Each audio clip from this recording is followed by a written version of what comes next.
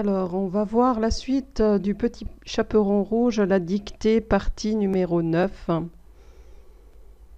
Donc, euh, elle était assise près euh, du lit de la grand-mère. Donc, on va continuer. Bonjour, grand-mère, dit-elle gaiement, mais elle n'obtint aucune réponse. Elle en fut toute surprise.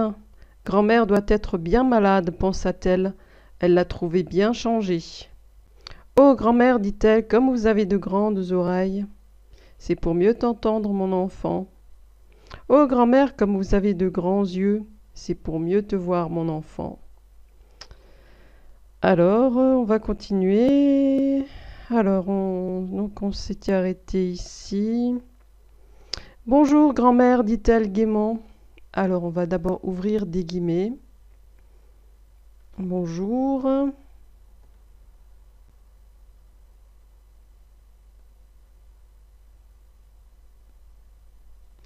Bonjour, grand-mère.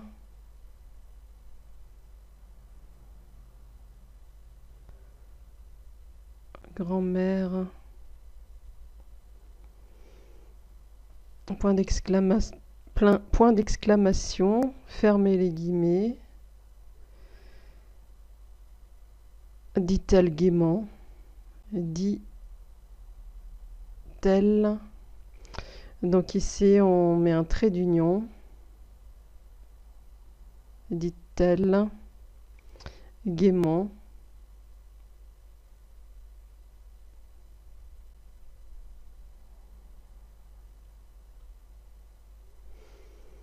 Point. Mais elle n'obtint aucune réponse. Mais elle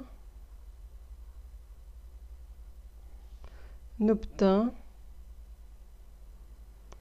donc c'est le verbe obtenir au passé simple à la troisième personne. Elle n'obtint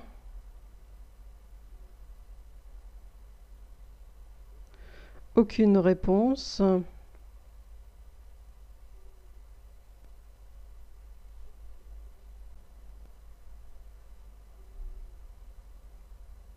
Donc il n'y a aucune difficulté euh, dans ce texte. Trois points de suspension. On va aller à la ligne. Elle en fut toute surprise. Donc elle en fut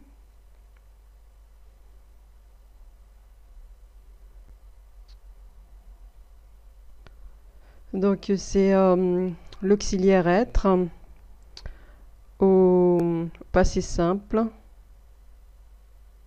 Elle fut toute surprise.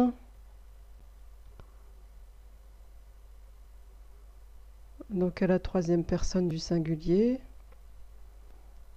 Elle en fut toute surprise.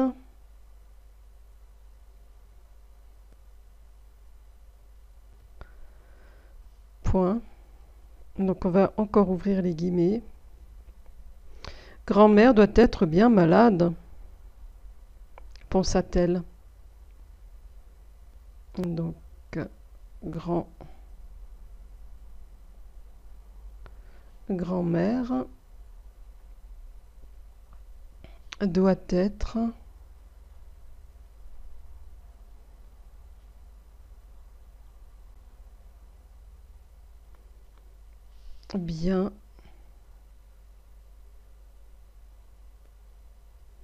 malade. Aucune difficulté dans ce qu'on écrit. Grand-mère doit être bien malade. On va fermer les guillemets. Pensa-t-elle. Pensa telle donc ici, il faut rajouter un, un T avec des traits d'union.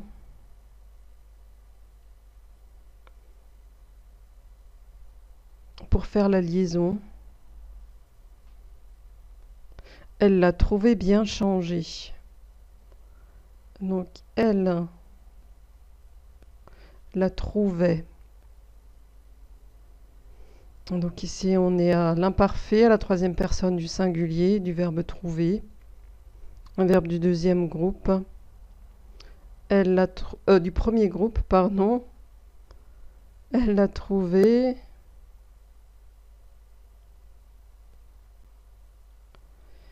Bien changé. Alors, est-ce qu'on met E accent aigu ou ER à changer? Elle l'a trouvé bien fini. Donc, euh, déjà, on a un E accent aigu.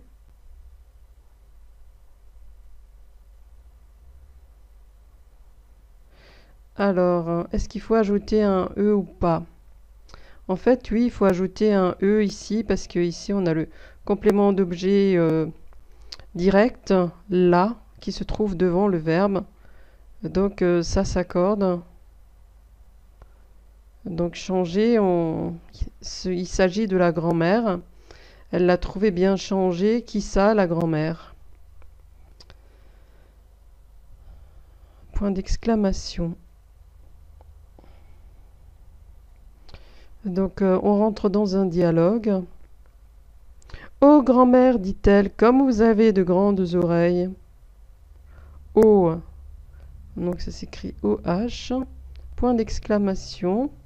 Grand-mère.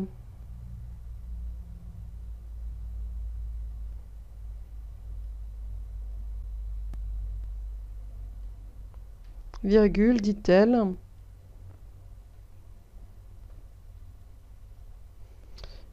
aussi, euh, il y a une liaison, dit-elle. Comme vous avez de grandes oreilles, comme vous avez de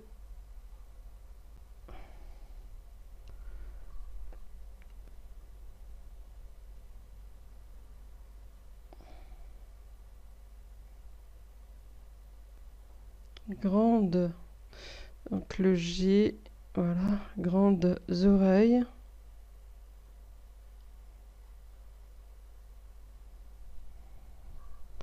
point d'exclamation. C'est pour mieux t'entendre mon enfant. Alors c'est cela est. C'est pour ça il y a un C ici. Et, euh, ici on est euh, l'auxiliaire. Il s'agit de l'auxiliaire être à la troisième personne du singulier, donc euh, au présent. C'est pour mieux t'entendre, mon enfant. C'est pour mieux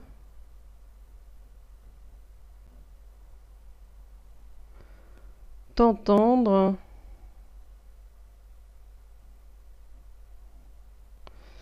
Euh.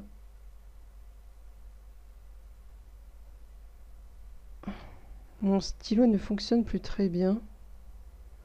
C'est pour mieux t'entendre, virgule, mon enfant. Mon